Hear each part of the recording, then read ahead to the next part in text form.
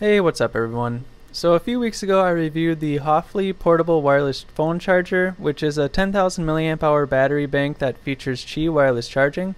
I was sent basically the same thing but in a different color, finish, as well as some other changes, so here's my review. Mostly everything I said in the other review remains true. I can fully charge my iPhone 10 about 2.5 to 3 times from 0%, and the wireless charging speed is about the equivalent of a 5 watt power adapter, so it'll take about 2 hours to fully charge my iPhone 10. The unboxing experience is pretty much the same as before, the box is just as hard to open, and the charger comes with a micro USB cable to recharge the battery bank. Similar to the black model, you can charge any device using the full-size USB Type-A port. The silver model also has this nicely hidden micro USB cable to charge your phone using that. On the black model there was a lightning port to recharge the battery bank which didn't really work too well for me, but the silver model swaps that out with a micro USB port. Wait, wait, no, it's a lightning port with a lightning to micro USB adapter stuck inside it. Uh, so that's pretty interesting. So basically to recharge the silver battery bank, you can use the micro USB port on the side by the LED indicator lights, the lightning port deep inside this little crevice, uh, or leave the lightning to micro USB adapter stuck inside the lightning port and use that uh, micro USB port to recharge the battery bank.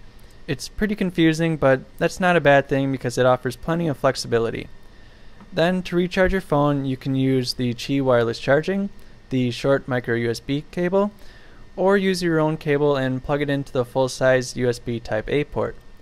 The battery bank offers plenty of ways to charge your phone and I like that. In regards to the design, I like it, it, but it needs a little warning. If you don't use a case on your phone, I'd be careful with putting it on the metal battery bank.